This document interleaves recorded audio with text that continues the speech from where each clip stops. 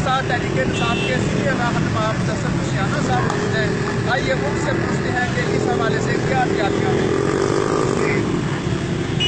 खान साहब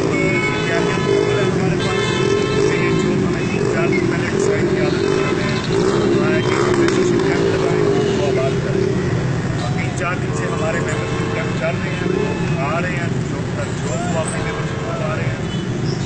ये शहर का सीधा है दरमियान में बैठे हुए हैं पाँच पार्ट ओपन तक जो है मेम्बरशिप इसी चौक में हो रही है जिन लोगों ने अपनी मेम्बरशिप करवाई है और जो दूसरे भाई हैं हमारे हमारे पी टी के वर्कर हैं उसमें खड़े निकलते हैं इन खान साहब का ईद साल की संभाल करेंगे वो और लोग बहुत ज़्यादा खुश हैं कि उनका लीडर उनका महफूज आए उसके दरमियान शहरी चौक आएगा इन दो ढाई बजे खान साहब को पहुँच जाएँगे वो वो अपना मेम्बरशिप के बारे में अदाई मैम के बारे में मेम्बरशिप के हवाले से इमरान खान साहब के लिए हमारे प्रोग्राम की तैयारी है